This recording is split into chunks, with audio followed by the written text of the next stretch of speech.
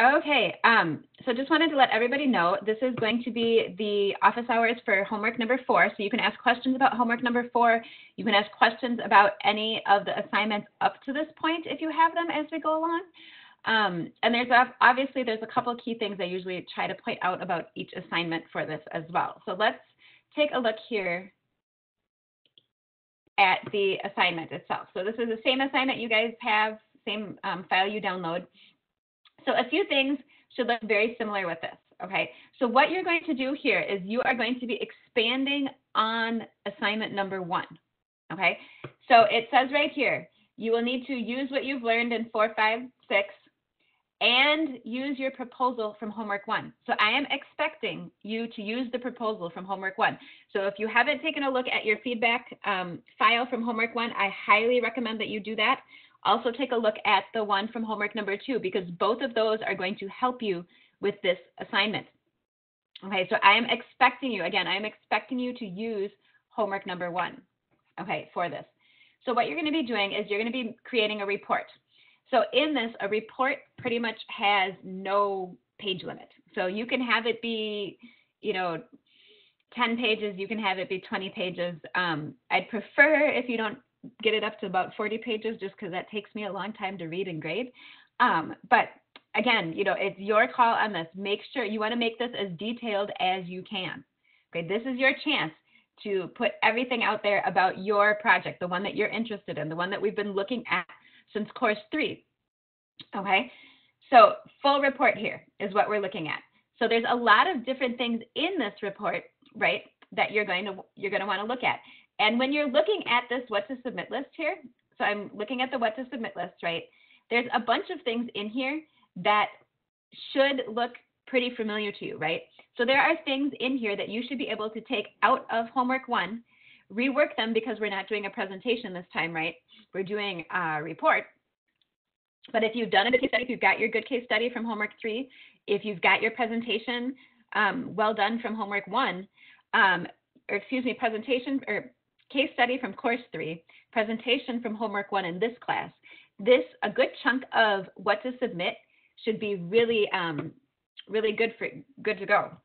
Hang on one second, we're gonna check with the audio here. So just pause.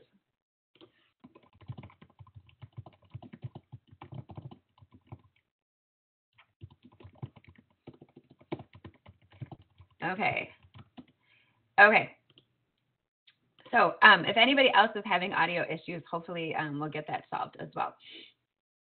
So with that being said, um, again, you're doing a project proposal. So it's your project proposal. I want you to reuse the information from homework one, and then you're going to be expanding on it. Okay. So this report should be more detailed than in several places than what you had in homework one. Does that make sense? Okay, because we've been covering a lot of things since then. So again, though, a bunch of this should look really familiar to you. We've got what is your project que or question or what is the problem that you're trying to look at? What is the situation that you are looking at addressing? Okay. We also want to have what is that basic project approach?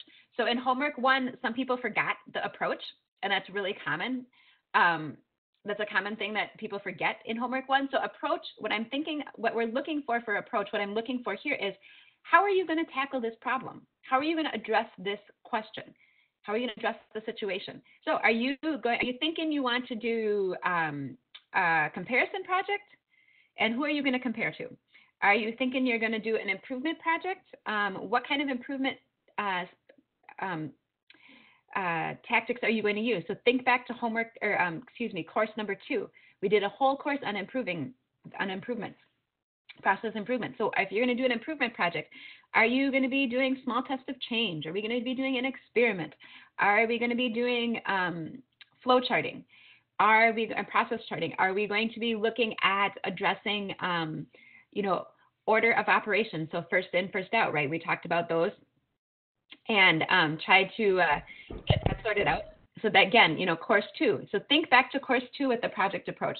Um, again, the comparison uh, if you're doing a comparison project approach, are you thinking you're going to do a comparison with another facility at another VA facility that's similar but not um, similar to your location, but not in maybe not in your VISN, in a different VISN maybe?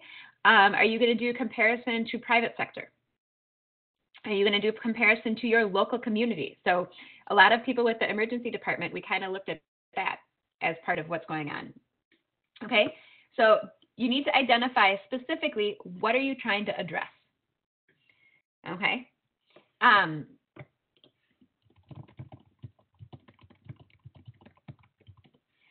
so what you're what you're trying to address. So what is specifically what are we trying to look at here? What are we looking at? Okay. Then we want to do what's your basic project approach. You don't need to be super detailed right here. You're, I'm not looking for I'm going to do this for five days and then we're going to have a seven person team and then we're going to do that. Okay. In this place, just generally speaking, what kind of project are you going to plan on doing? What are we looking at here? Are we looking at comparison? Are we looking at improvement? Are we looking at a combo? Maybe you're going to do comparison first and then improvement, or maybe we're doing improvement and then comparison. Okay, what are you planning to do? So it just in general terms, what are you planning to do? Okay, then give some background around your question, your situation. Okay, so why are we did um um so why are we doing, you know, what are we doing? Why are we looking at this? Okay. And um, if you're, you know, if you're looking at this question and problem and you're looking at what you did in homework one and you don't want to necessarily use that, you can definitely choose um, choose another project to look at.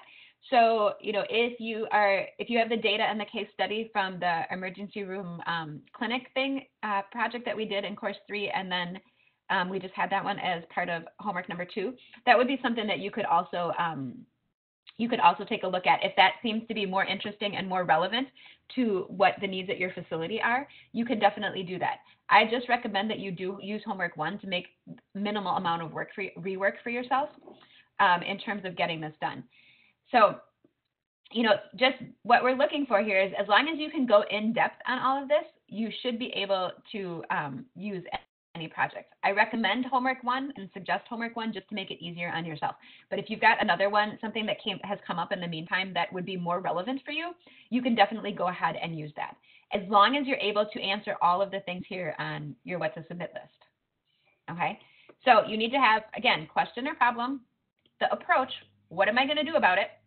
Okay, the background is why should I care about this? Okay, why do I care about this? Why should why should I as the reader, why should I as you know our customer here, Alex, why should Alex care about looking at your project? So give me some background. Give me the the so what. Okay. And I know that's really, you know, that seems kind of blunt and it seems kind of harsh, but if you can't answer, you told me about this project and I've got an idea to fix it. Well, so what? Why do I why should I look at it? Why should I continue reading this? Why should this be something that I need to I need to pay attention to? So give me the background around it. Okay, tell me why this has been an issue. Have you heard, you know, is it something where there's complaints? Have we seen wait times increase? Is it a publicity um, issue? Is it something where where we've got unused, um, you know, unused uh, appointment slots? I had somebody find out in one class um, several years ago that they were coding diabetes wrong. So all the all the diabetes all the diabetics for that for an entire um, for an entire clinic, and it was not a small clinic, um, were being coded as uncontrolled. Well, that that's an issue. Okay, so it doesn't have to necessarily um, be. I had somebody else who was looking at trying to address why the um, why the operating rooms weren't getting turned over.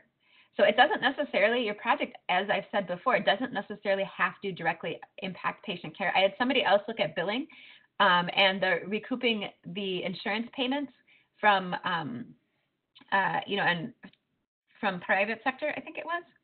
So there's been, I've had projects all over the place. Somebody else was looking at trying to build, um, make a case for building a new clinic. Uh, that they'd already they'd sort of picked the location, but they were looking at getting bids from contractors in terms of actually they had to actually build it. So there's been a lot of stuff over the years that people have looked at, but all of it has to come down to give me the so what why should we why is this something we need to look at? Okay and this is something people are really good um, and you guys are as well. You're really good at saying here's what the situation you know here's what there's this problem situation and we need to do something about it. But again you know one of the things that i'm working with you guys on in this course so that when you are done with this course you are going to be able to go one step farther and say hey you know this is an issue. I think we need to address it. And here is why. So that so what is the why. Okay? Why should we address this? Okay? And kind of continuing along that, we're looking at what opportunities this project can address. Okay, and these should look very familiar to you, right? Values, risk, and the business needs. So when we're looking at the values and the risks, okay, I'm not looking, this needs to be more than just a paragraph. Okay, go back and look at the um, uh, lecture number two. We talked about multiple types of value, right? We've got the three perspectives, environmental, economical, and societal, right? We've got our six, um, our six value streams that you can take a look at, or um, depending, usually six, kind of six, the six main ones, right? So you want to take a look at all of those and you need to identify all of those. If you're having trouble coming up with values for each of those, or ideas for each of those value streams um, and each of those perspectives, think about looking at, um, we kind of talked about, I have one slide I, in um, assignment or in a lecture two, and I can't remember what the number is off the top of my head, but it's got things like safety on it. It's got things like efficiency on it. So look at safety and say, okay, I've got um, safe, I've got safety. Is there a, you know, and I've got safety of the veteran is what I'm going to start out by looking at. So we're going to look at safety of the veteran. How is that going to be impacted in terms of reaction? Okay, how is that going to be in, um, uh, you know, reaction and, perspect- and uh, perception? Okay, how is that going to be um, addressed? Is there a value of safety in learning and confidence? Is there value of safety of implementation? Okay, what about you know application and implementation? So you go through those different things. What about intangible? What about ROI? And you go through each of those and think, okay, you know, how can I? Is there a value? And that's one of the reasons for me, at least. Um, and I know I, I've seen, you know, several of you guys have different ways to address to kind of put it together. For me, I like making an Excel spreadsheet and then I list my um, either list the values across the top and then the stakeholder groups down the side or the other way around. And then I just try to fill in the boxes. How many boxes can I fill in? And if I'm running into problems with that, I use that um, that one slide that has all the different things on it that says to as a starter. Okay, as, as a jumping off point to start get start getting me thinking. And you can really start out by brainstorming these, right? The other thing you want to take a look at, again, risks should be a pretty sizable section just like values. Values had an entire le lecture, risk had an entire lecture. So these sections need to be more than a paragraph. Okay, with the risks, again, we've got six different risk groupings, um, kind of risk, risk streams that we're looking at. And one of the biggest things, and this is one of the hardest things to do, is um, one of the biggest things I noticed in homework two is framing things in a, a risk format, okay, instead of putting together a to-do list.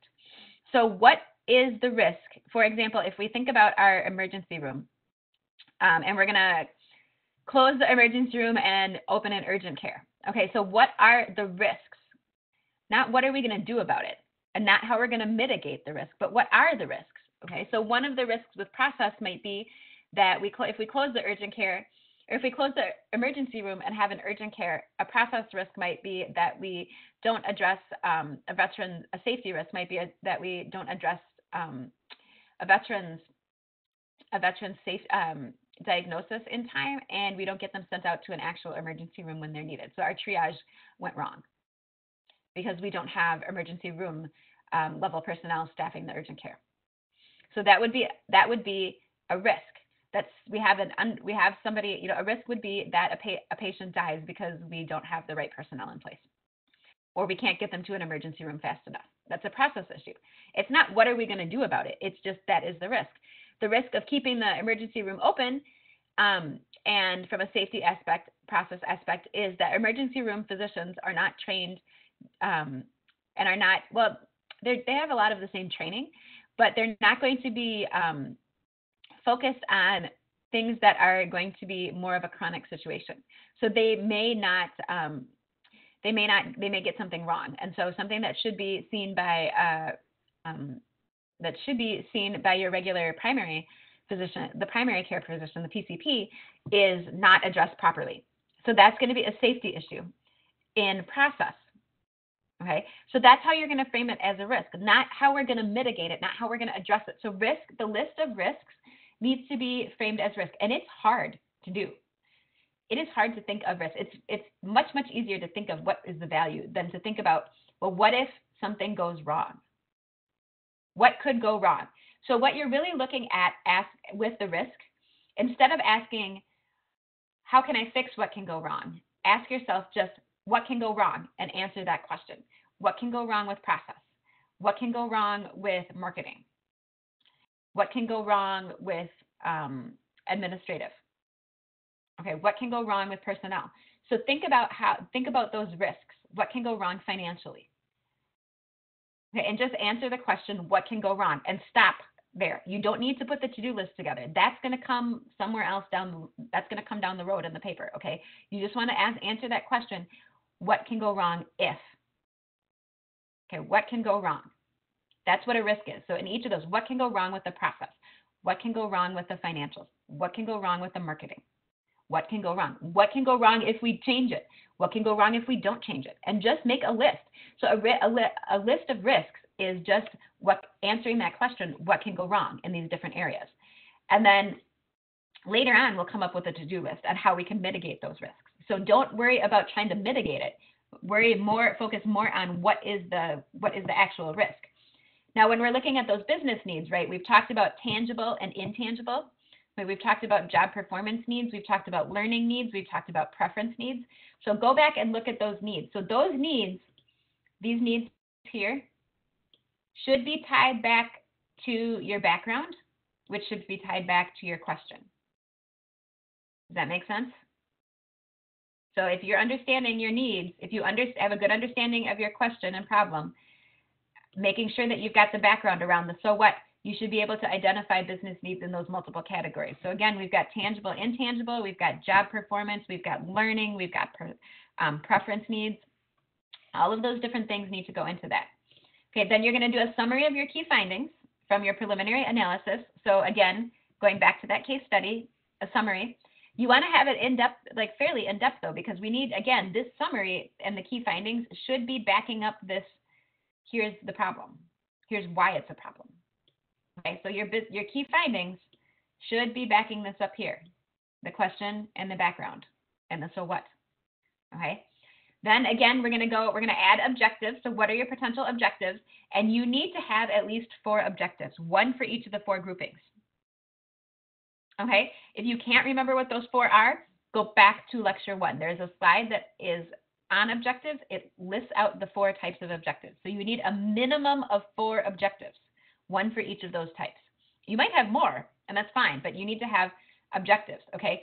And objectives are what are the goals of your project? What are you trying to accomplish? Okay.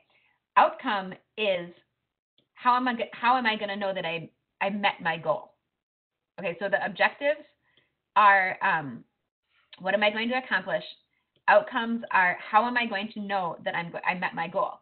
So with the outcomes, think of some types and levels of measurement. So this goes back to our discussion question right? I think it's from week three. I'm trying to think. No, that week three was just week four. Week four was type and level of measurement. So what we're looking at in type and level of measurement, what you want to look at here is first choose the type of measurement. Are you going to have a nominal? Are you going to have an ordinal? Or are you going to have um, interval ratio? Okay, so once you figure that out, or excuse me, that's the level of measurement. Once you fig figure out your level of measurement, then you're going to go down and you're going to see, kind of look and fill in those groupings. So you're going to fill in your um, conceptual, your or your um, operational and your variable box for those measurements. Okay, so if you choose ordinal measurements, first choose ordinal, nominal, ordinal, or interval ratio, and then you're going to go down from there and fill in, okay, I've got an ordinal measurement. Here's what my measurement is. Here's the conceptual. So here's what it is. Ordinal is here's how I'm going to do it, or excuse me, operational is here's how I'm going to do it. And then your variable is here's exactly, here's how we're going to measure it. No yes or, you know, know what the, the outcome is. Okay. Then you also need to give me the reason for that measurement choice. Okay. So why did you pick this particular one? Okay. So why did you choose that measurement? Why do you think that would be a good measurement for your um, for your project. Okay, so why would you think that is going to be a good measurement for your project? Why do you think that is the best choice? Okay, then we're going to determine impact and effectiveness. So how are you going to know that there was an impact? So not just how, not did just, not just did you meet the goal, right? Um, and so with the did you meet the goal, right? We and I even saw in some of your week five um, discussion posts that I've I've read through, right? A lot of people kind of talked about projects that we met the goals, but there was no sustainability on it, right? There's no sustainability there. So what we're looking at here is whether or not you've got that impact. What kind of impact did it actually have? Did you not only meet your goal, but did it have the impact that you hoped? And how effective was it? So it's not very effective if we can't sustain it. So how are you going to determine whether it's effective? That it actually you think it's going to stay stay moving forward or stay the new process is going to stay in place? Because how many of us have had um, been involved in a project or seen a project where we get the project done right? Two weeks later or two months later, somebody comes by and it's back to the old way of doing things. I am totally guilty of doing that, and I'm sure you guys are as well. So think about the effectiveness of the project. How are you going to determine that it's going to be effective? So think about how you're going to figure that out. Then you also need to have two pieces to a basic action plan. And when I talk about basic action plan and I talk about major milestones, what are the key things you need to have done? I don't necessarily need dates. But what are the key pieces of this project that you that you need to put together in order to accomplish this? What are the key steps? Okay, if you're using Lean Six Sigma, you can go through um, some of the steps with that. If you are uh, using a different format, again, what do you need to do? Do you need to form a team? Do you need to get approval? Do you need to have, um, you know, are you going to need to do some observations? Are we going to do a small test of change? Do we need to uh, do a couple different things? You know, so what do you need? What do you need to do? What are those major milestones? If you have an idea of how long they might take, you can definitely put that in but it is not required. I am not looking for dates. I'm not looking for you to say we are going to have this project done by end of fiscal year 19. That is not um, that's not what I'm looking for. I'm looking for can you come up with the key pieces that need to occur with this project in order for it to to be finalized and be done. And then I also want to know how are you going to how is your plan your project going to address the eight aspects on page six of module six lecture notes. So we are actually going to take a look at that right now. So hang on one second. Um, and we're going to try to get, I'm going to try to take a look at that and see where we're at. So we've got page six, lecture notes. Okay, so this is the same page six that you guys are looking at. And you can see here we've got eight different components. So I need you to look at eight, those eight aspects as part of your action plan.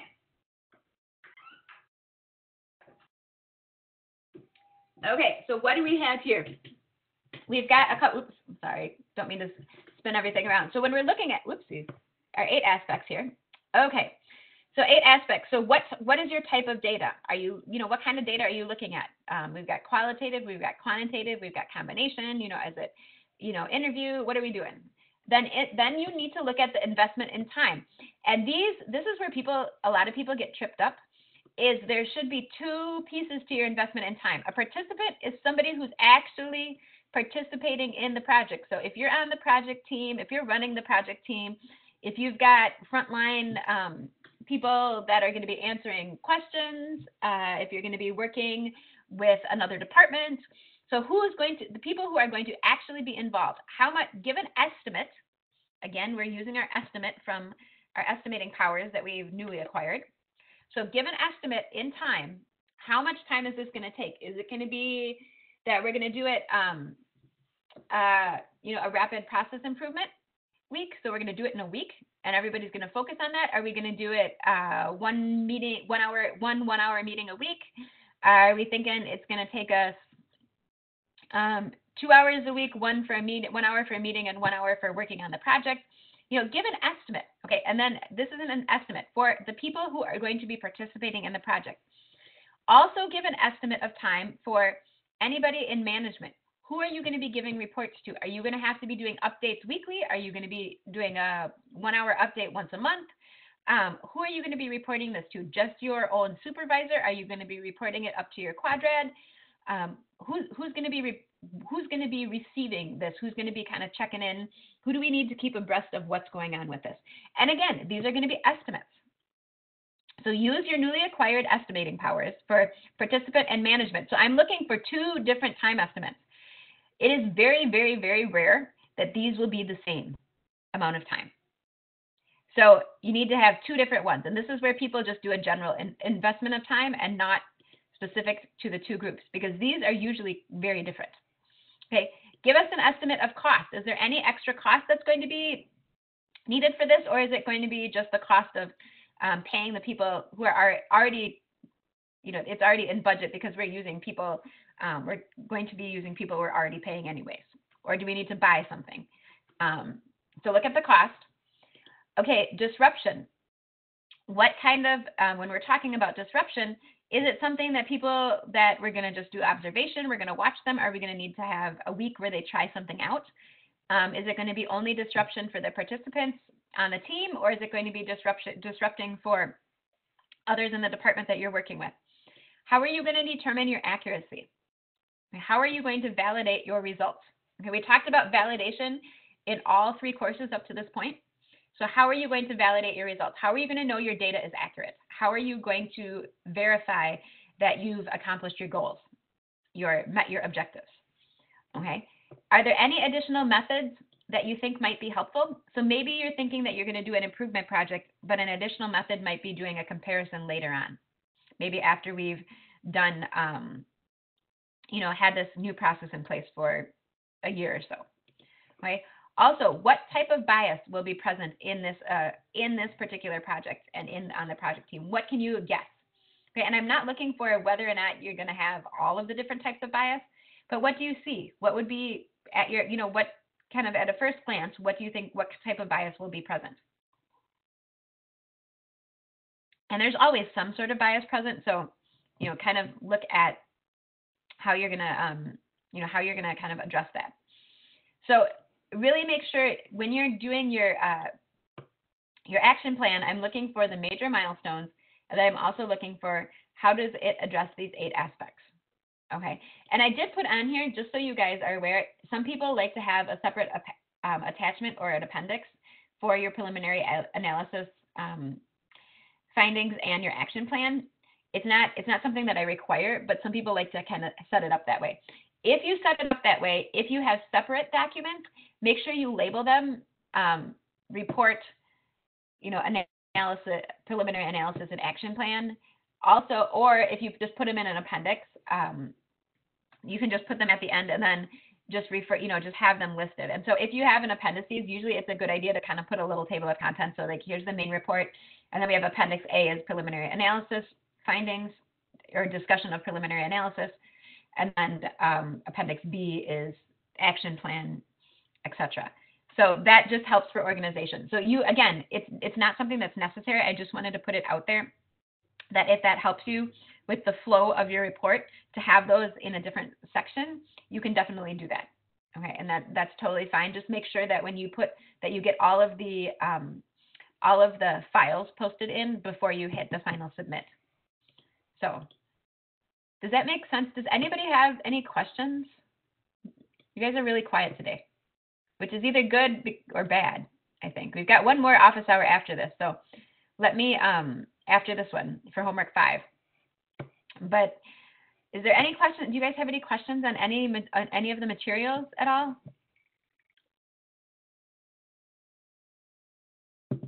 Or is everything looking pretty good?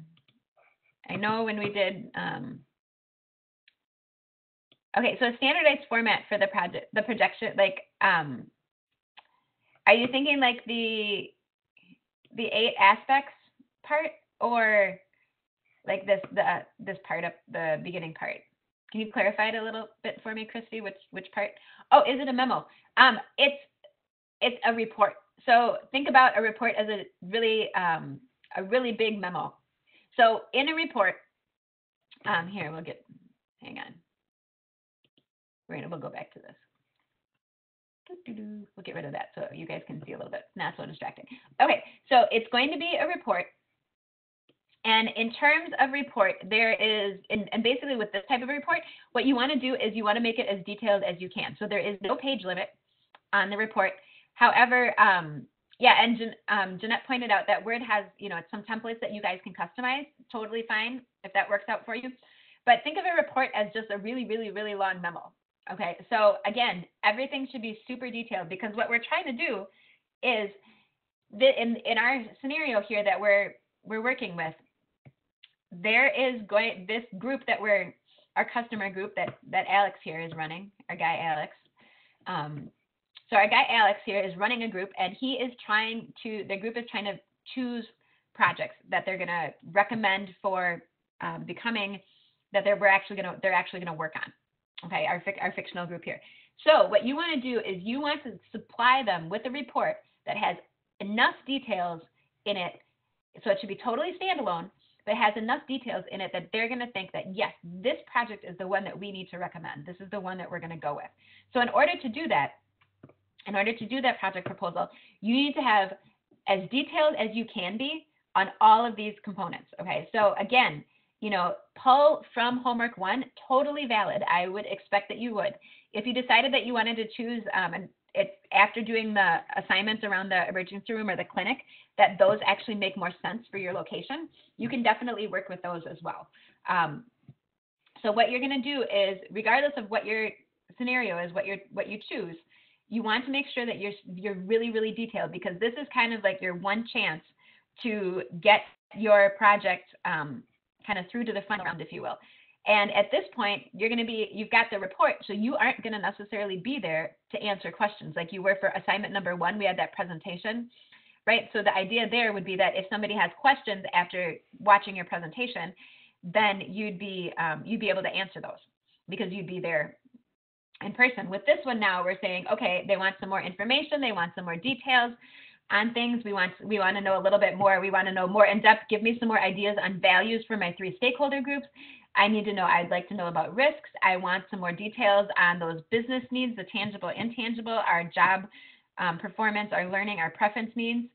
Um, you know, let's do a recap of the summary as to the why should I pay attention to this again. You know, let's support support that. Uh, what are your goals for this project? How are you going to measure these goals? So remember, outcomes is how are we going to measure? How do we know that we got to our, we achieved our goals? So outcome is how do we know we've achieved our objectives? Okay, so objective is the goal. Outcome is how do we know we got there? Okay, so in detail, type and level of measurement. So go back to that nominal ordinal interval ratio. Okay, fill out, choose one of those and fill it down. Tell me why this is the measurement you think we should use. Why do you think that is the measurement? And again, with this, you know, at this point, you may or may not know how to take the measurement, and that's totally fine. Um, that's why we ha- I chose that book, How to Measure Anything, for this class because there's a lot of things out there that we may not necessarily know how to measure. So give me the reason. Why do you think this is the this measurement would work? Why do you think this measurement is going to help us know if we've achieved our objectives? And then how do we know that the the project is actually going to be effective. Again, going back to what I was saying about, um, you know, we've all been either been on a project or seen a project that was really, really good for about a month. And then after that, it just sort of fell off the radar and nobody did anything more with it. Right. I've been, I've seen those. I'm totally guilty of once in a while kind of going back to the old way of doing things instead of sticking with the new way of doing things. Right. We've all done that. What kind of impact will this have? How are we going to determine impact? Are we going to only look at finances? The financial aspect of it, or are we going to also look at um, are we also going to look at things like improvements on uh, surveys? Are we going to look at, at wait times reduced? Are we going to look at just kind of in general, what do people look like in the waiting room? Do they look happier? You know, when you just anecdotally. So how are you going to decide what that impact is, and how are you going to decide what the effectiveness is? How do we how are we going to know this is a good project? Because I want all of you to, when you finish this course in two weeks, two and a half weeks, that you are going to be the people when you put together a project, your projects are going to be the, the solid ones. Yours are going to be the ones that are sustainable, that do have that impact, that do have the effectiveness to keep moving, that are going to affect change in the organization. That's the idea. That's why we put this particular class together as part of this program, is because it's great if you can analyze data and you can do the data mining. But if you can't sell it, if you can't sell it as part of a project or as part of making changes, that's you're losing a lot. You're, there, there, there's a lot of skill that you guys have. You've built all this skill in looking at the data itself. But if you can't take it one step farther and sell it, as to why this is why data is important, why the data that you found is important, and how it can be part of a project, then you're really you're really kind of missing out. You're not using those skills as as best as you can. So that's why we put this project analysis course on kind of as the capstone piece in this in this uh, certificate program. So you've got that impact and effectiveness, and then you're going to put together how are we going to do this? Here's my basic action plan. Here is how I think. Here's how I see this project going forth. Here's how I see this project moving forward. We've got major milestones. I've looked at my eight aspects. So we've got that. How are we, you know, how, how do I see this moving forward? So when you think about it, if you've got all of these pieces, and again, these should be as in depth as you can possibly make them. If you've got all of these pieces, when somebody is reviewing your project, so when you you've got a project, a group of people who's reviewing a project, You've looked at it from all the different angles. You've got the data to back it up. You looked at how is it bringing value to our different groups. We've looked at risks, taken a preliminary look at what if those risks, what if, you know, what if something goes wrong or what could go wrong. Okay. Then we're going to have that action plan. We've got our goals. This is really this is really a complete project, um, a project summary, a project proposal in order to have that addressed. So in order to do a good analysis, and these are all things that you can use if you're on, if you are on a project team as you work through putting together a project or as you're working on a project, come back to this list and say, okay, do we have all these pieces? Have we thought about risk? Have we thought about the preference needs? Have we thought about our eight aspects down here? How, what kind of measurement are we having and why are we having it? Why do we choose this? Why do we think this is the one to recommend? Okay, so you're going to go through all of these different things as you're as you're putting together that report. So um, kind of as I mentioned really early on for anybody who joined us a few minutes late, there is no page limit on a report. However, if you get up to like, you know, 40 pages, it's going to take a while for me to get it graded. So um, you can definitely do 40 pages. If you need 40 pages, please use it. Um, but generally speaking, most of the reports that I've seen come through over the years have been kind of around that you know, like 10 to 20 pages ish. I think so. I think a lot of people, once you get to 20 pages, you kind of get tired of writing, don't you? I've written a lot of really, really long, long, long reports and experiment write ups and things. And once you get past 20 pages, it, it seems like it kind of goes on and on. But definitely, if you need it, use the pages. There is no page limit um, on the report. So kind of, you know, a really super detailed, super expanded. Um, Jeanette's got the suggestion, you know, go, you can use some of those project templates in Word to write things up. Um, use the, you can go back and look at the examples in, I think they were in module two. Module two for home, the examples for homework two, I think those were in module two. So if you look up those, those would be some ideas. So yeah, so the preliminary analysis data, this is a good question. Maria's got a question around um, making where did the preliminary analysis data do you have to find new data no you do not need to find new data so use the data that we used in homework that we pulled in course one or course one oh my. Um, use the data that you pulled in course three homework three. So use the data from your case study. If your data is severely out of date you should be able if you've done a good job with your case study you should be able to just update it. So have some fairly recent data. So you don't want data that's you know like three years old. Um, so have some, you know, somewhat current data, but you don't have to pull all new data. If you, again, you know, maybe run your run your um your uh, your pyramid reports one more time to make sure you've got what you needed. But then the summary of the preliminary analysis should be the summary of the data that you used in course three, homework three. So for most of you, that's pretty recent because um, we just did that in, in the fall. So use that and then kind of use what you did in homework one to come up with your preliminary analysis. So if you did a good, you know, if you've got your preliminary analysis summary in homework one and you also did that case study in assignment three, way back in course three this fall, then it should be pretty easy to do that summary. And in your summary, I would expect to see, um, you know, see some graphs. If you're talking numbers, you know, you should, you're probably going to most people are going to have some graphs of some sort. Um, preliminary analysis summary, again, be pretty detailed. You don't, you don't want to just say, well, we found out this was important, and here's one example of why. Give me the details. Again, this is you want your project, this this group that we're talking to, Alex's group here. You you want your project to be the one that they pick. So you need to make your case the best that you can that your project should be the one that we're going to spend funds on this year. Does that make sense?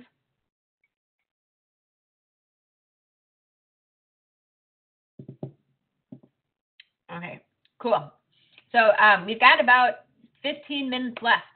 Any questions on any of the lectures on five or six at all? Four, five, or six? Anything there? Anything on lectures? Anything on the assignment? Um, PDF document as usual. Again, if you do need to, if you do want to do um, separate documents for the analysis, preliminary analysis and the action plan, you can definitely do that um, like I said, some people just get it. It takes a bit to get. It helps them with organization. It is not necessary. You can do it all in line in a single document. Totally fine with me. Um, I've had it both ways over the years. Does not does not make a difference which way around. I just wanted to let you know if you do that. If you do that, if you do do that separate separate documents for the uh, preliminary analysis and the action plan, just make sure that you upload everything. Um, I'm going to do my best to have the office hours posted this afternoon. Um, fingers crossed. I tried to post the um, the week five class email. I don't know how many times, but the website was down every single time, and nobody told me. So I'm gonna try to get um, I'm gonna try to get this posted up as quickly as I can. Um, and I think every WebEx seems to be working on my end just fine today. So fingers crossed. Yeah, fingers crossed on my end, both hands here, trying to get that posted as soon as we can so that you guys can have the information. So I will definitely try to do that. Um, what other questions do you guys have? This is kind of, if you think about it, this this this assignment is probably going to be the longest one in terms of actual writing that you guys have done to date. So use your spell check, use your grammar check, look at your um, your plurals versus possessives. Okay, I know I put that in one of the class emails, I think about um, plural versus possessive. So look at, you know, look at those different things. Really kind of think about how are you going to sell your project. That's what this is. Is you're to make, you're basically making a sales pitch here that this is the project we should choose. And if you do end up using this project, you know, going forward, then you've already got a pretty good uh, ana project analysis proposal done. If you end up not using it, that's totally fine. You've gone through the process. So like I said, I am not uh, anticipating that every single project that it gets submitted as part of this course is going to be done. It would be really cool if it was because I've seen some awesome projects come through that I think could really, really, really go a long ways um, at the VA. And so I keep watching sometimes to see uh, see if I can see any of the projects pop up um, over the years. And some of them have, and some of them haven't. So, you know, but the idea here is that you're going to really be able to take the time to to make your case for something that you are really interested in. Okay. So what um, what other questions do you guys have? That's all I had. That's all the and that's all the questions that I had up to this point on email. What other questions do you guys have?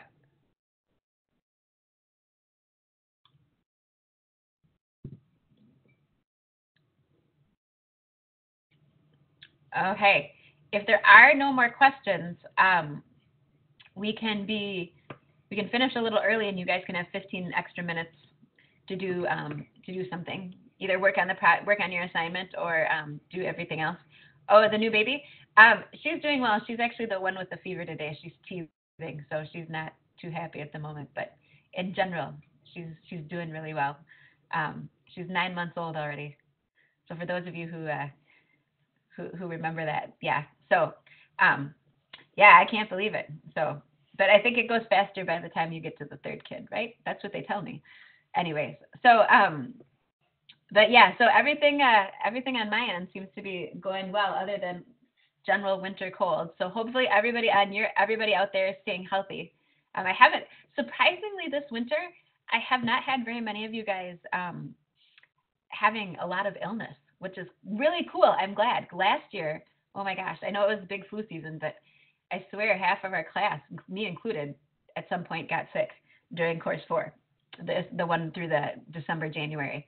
So um, so hopefully um, everybody's gonna I'm gonna I'm sending good vibes out for everybody to stay well. So um, what other questions? Does anybody have any last questions? I really don't have a whole lot left. We'll have one more office hour in two weeks, and that's going to be the last office hour for this course and for the whole program. So if you guys have any questions that you've always wanted to know, um, that's the time going to be the time to ask them.